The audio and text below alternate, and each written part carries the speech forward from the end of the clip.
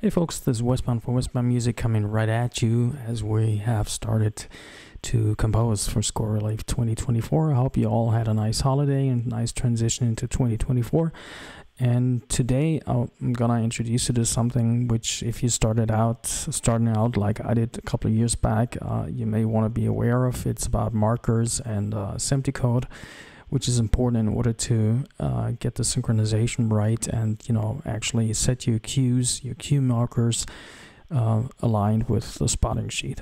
Okay, without further ado, and and also I'm going to address something that I have uh, kind of blew the whistle on or raised the flag about because it had me confused uh, for a very long time and it took a little bit of learning curve to figure it out and I'm going to share it with you today.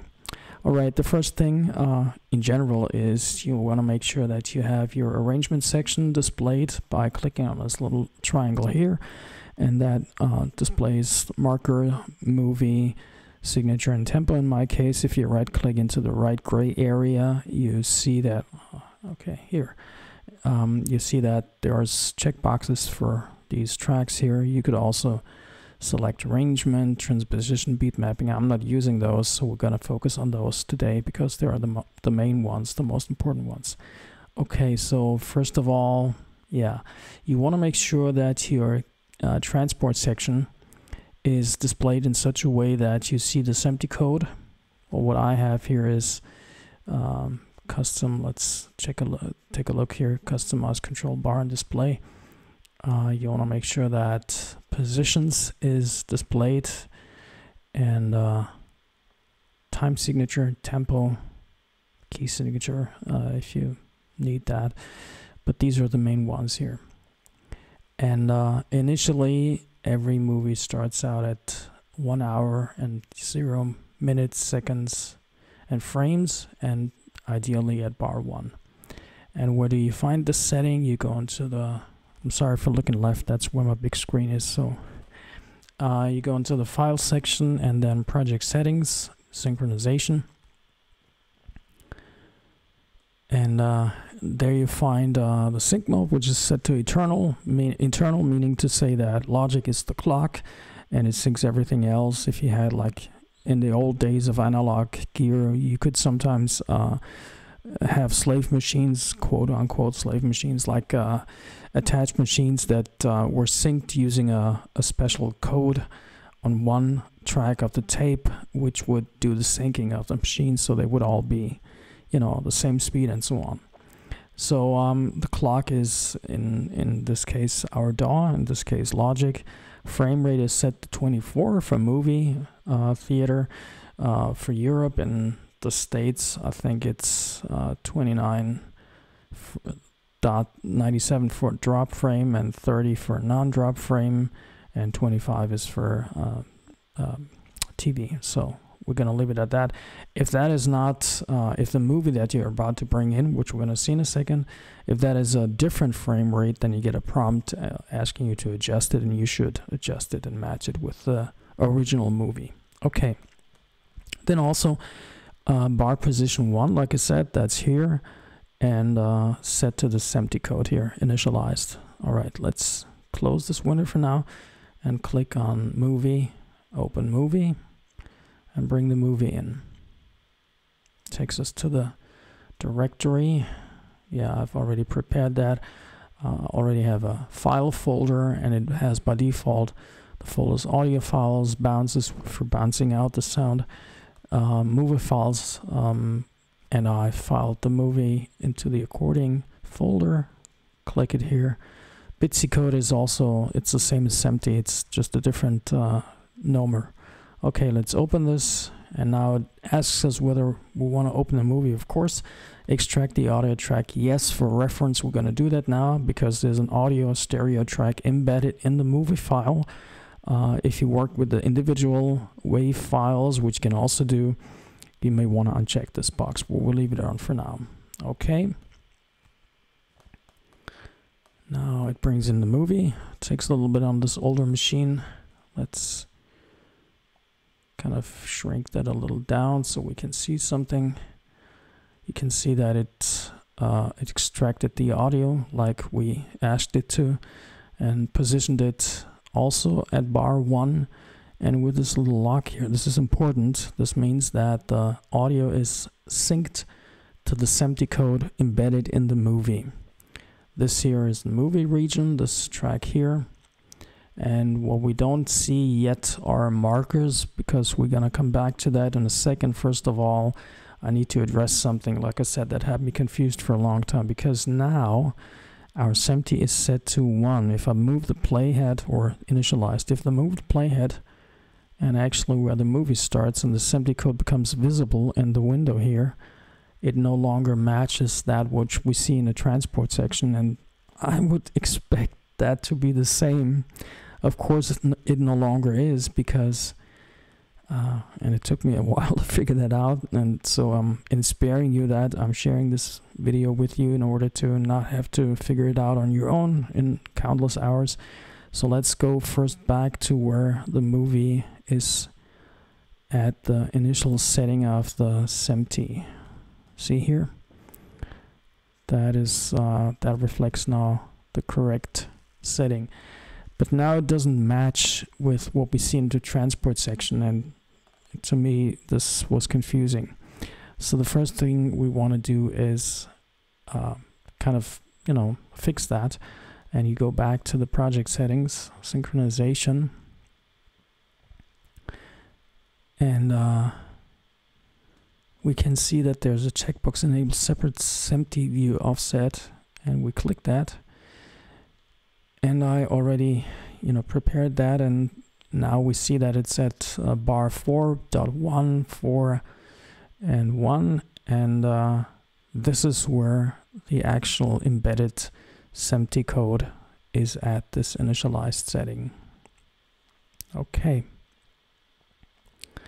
Now when we move the playhead it should always be the same as in the actual SMPTE in the video and it is see it says I'm sorry this says um three seconds.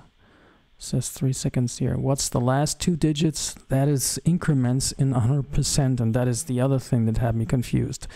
This is not the frame rate because once we move uh, frames because the last digits here these are frames are supposed I mean in the in the sorry in the SMPTE the last two digits are frames the why does it always display this little thing here? Uh, the last two digits are frames. The second digits from the right are uh, seconds, minutes, hours, or vice versa. Hours, minutes, seconds, frames. And the last two digits in logic are not frames, but are these 100, 100% um, steps or increments. And so that 17 now doesn't exactly match with uh, again with what we see because these increments see? So you may want to I mean it roughly matches now. Six frames six frames. So that's better. Nine frames nine frames. And that's because of this uh, let's go back once more. Because I aligned it to where it actually displays the initialized SMPTE code, but not at bar 1. And that's something that Logic offers. I would assume it's the similar or same thing with other DAWs.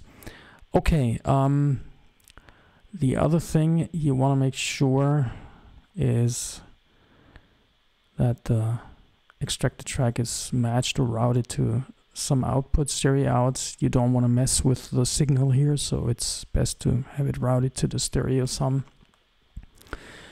And uh, if you did work with the um, individual files and bring them in here, you want to also go back to bar 1, then bring them in by cl clicking the gray area, add audio file, matching them all with the left region corner here.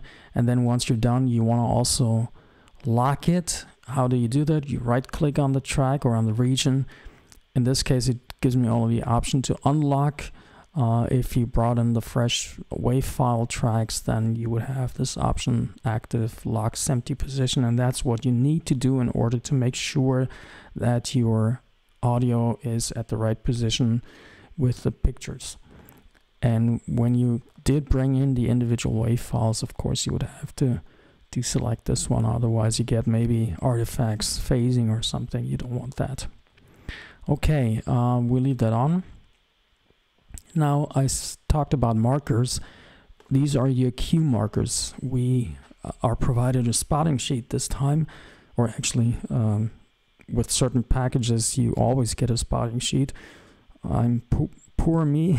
I uh, only have the starter pack, so I didn't get the spotting sheets with the other projects. But for this one, it's for free, and um, it's important to work with a spotting sheet because that's in a real time, in a real professional situation. You would get notes and spotting notes from direction or from production, and uh, so you want to make sure that you adhere by them. And in order to help you with that, there's this track called Marker um, and now we want to place the markers by clicking on the plus sign here. It places a default marker. You double click into the name and call it, for example, CT logo animation because that's where the logo animation starts. Then we move the playhead further along.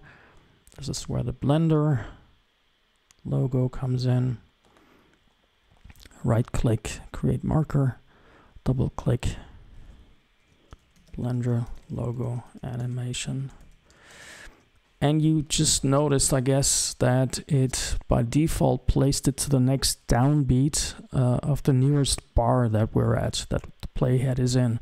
It is in bar 4 but not on the downbeat. Um, this is another thing that you may want to kind of look out for. Um, especially when you have tempo changes like I placed here, you know, you just uh, click on the line here and that places a new tempo marker or um, tempo mapping, it's also called. So if you work with different tempos in your composition, um, try to get them to the beginning of the bar. Um, another way to do that is by working with beat mapping. Martin Heidenreich has a great video out on that. I don't like that so much. I prefer to not use beat mapping because it kind of has the tempo all over the place. You know, it forces um, uh, the downbeat to always begin at the at the next bar count, but it then kind of to me it looks almost random. It like speeds up the tempo to insane numbers, 400 something BPM or something, in order to match that. And I find that again, I find it confusing. I'm I'm a simple Simon. I need to have it simple. So that's why I try to um, place the markers um, or place uh, tempo changes um, on the next bar if possible. And uh, if that's not possible, then you could work with uh, the signature here and create um, time signatures, for example. Here, um, we could like preceding to bar, um, uh, you know, left to bar four, you could place the playhead like half um, or one count less left to it, then right click and say, uh, not marker, sorry, here, create time signature and have like, for example, two eighths because that uh, is the equivalent of one uh, bar segment. What is the word I'm looking for? and then, yeah, and then of course he would have to go back to the next bar, five in this case, and create another time signature, which is 4 4 again. This is one way of tricking your timeline or your your playhead into starting on bar on the downbeat when the cue changes. Just just an idea. That's how I work with it. Okay, um logo animation and then let's move the playhead to where the movie actually starts. Starts here. Yeah. One more, create time signature. Not time signature, create marker, sorry. Create marker, and that is wing it start, for example. And that's where the movie starts. And you go on like that and, you know, fix your, uh, finish your spotting and creating the markers and so on and so forth. And once you're done, you go to the navigate window or open the markers list and select them all by shift clicking them. And then in the options, you get to say lock to SMPTE position. And that's important. So now if anything changes, like if your tempo mapping changes, if you introduce other uh, time signatures or move the bars around or whatever you do, um, you make sure that your cues don't get all messed up. That's another thing I had to learn the hard way by spending a lot of additional time on, on these things. Okay, I think that was all I meant to address for today. I hope it was not too confusing. I know this is kind of not too easy to wrap your head around in the beginning if you're starting out. And it actually, I just figured it out now because from so many mistakes. And in order to spare you that, um, I share it here with this video.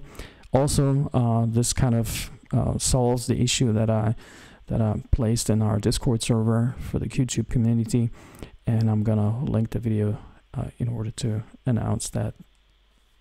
Well, you you you be the judge whether or not I figured it out, and let me know. And if uh, I, would appreciate you letting me know in the comments below, or on the Discord server, ideally both. And uh, if you thought this was helpful, please come back, subscribe, and uh, happy composing, happy scoring, and good luck to everybody with this year's Score Relief 2024. This is Wesbound for Wesbound Music. See you all soon. Bye bye.